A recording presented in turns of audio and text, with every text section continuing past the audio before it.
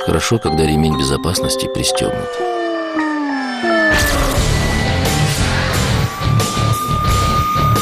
Только в этом случае он спасает жизнь и здоровье в ДТП. Пристегнитесь. Или пристегнут вас.